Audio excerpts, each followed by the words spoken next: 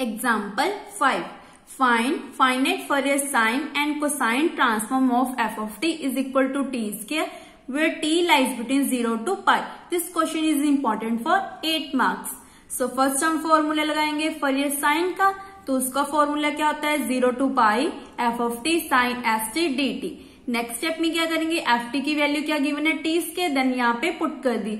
Now अब हम integrate by part solve करेंगे, ये फ़र्स्ट फ़ंक्शन ये second function first function as it is second की इंटीग्रेशन साइन की इंटीग्रेशन माइनस कॉस और इसका जो डेरिवेटिव है वो डिनोमिनेटर में आएगा.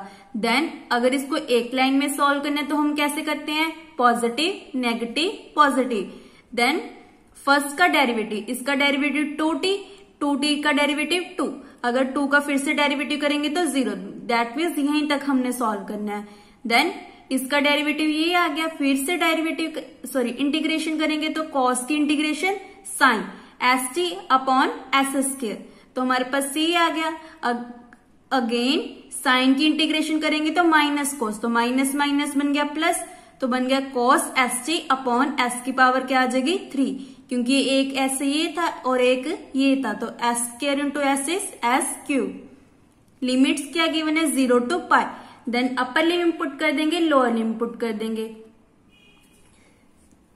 अपर लिमिट पुट की तो pi s minus pi s के cos S pi upon S minus minus plus sine pi क्या होता है ज़ीरो तो ये टर्म वेनिश होगी। Then plus two cos S pi upon S की power three now lower limit में minus डाल के लोअर लिमिट पुट करेंगे।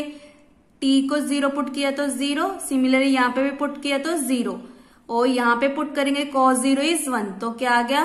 टू अपॉन एस एस के और आगे वाला minus as it is that means minus two upon S की power three two upon S की पावर थ्री को बाहर निकाल दे तो यहाँ पे बन गया वन नेक्स्ट स्टेप में क्या करेंगे? कॉस एस पाई की वैल्यू क्या होती है? माइनस वन की पावर एस देन यहाँ पे भी एक माइनस वन पड़ा तो एस प्लस वन आ गया. ये terms as it is and यहाँ पे भी वैल्यू पुट कर दी माइनस वन की power S minus two upon S की पावर थ्री। देन अगर इवन हुआ तो माइनस वन की पावर इवन मतलब टू पुट कर लो। Two plus one is three तो माइनस आ जाएगा तो यहाँ पे पुट किया तो हमारे पास आंसर आ गया माइनस फाइव के upon S. If S is even अगर ऑड हुआ तो यहाँ पे वैल्यू आ जाएगी पॉजिटिव दैट मीन्स ऑड का मतलब one one plus one is two तो क्या आ रही है? वैल्यू पॉजिटिव आ रही है।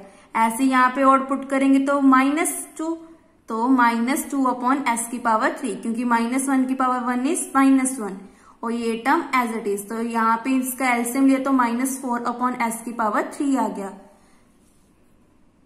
नेक्स्ट स्टेप में हम कॉस की पुट करेंगे zero to pi F T cos S T D T F T की वैल्यू पुट की, ये फ़र्स्ट फ़ंक्शन ये सेकंड फ़ंक्शन फिर से हमने इसको सॉल्व किया अपर लिमिट पुट की लोअर लिमिट पुट की. अपर लिमिट पुट की तो sine pi is zero minus minus plus यहाँ पे पुट किया two pi cos S pi upon S की पावर थ्री सिमिलरली साइन को पुट किया sine pi is zero then minus lower limit put करेंगे zero plus zero minus zero तो पूरी term हमारी क्या होगी? वेनिश होगी. तो हमारे पास ओनली ये टर्म आ गई.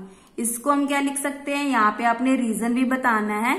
Cos S pi is equal to minus one की पावर एस तो ये हमारा बन गया answer where S not equal to zero क्योंकि अगर ज़ीरो आ गया तो हमारी जो इक्वेशन है, जो हमारा आंसर आया, वो डज नॉट एग्जिस्ट बन जाएगा, क्योंकि one upon zero is infinity तो इन्फिनिटी डज नॉट एग्जिस्ट होती है. Thank you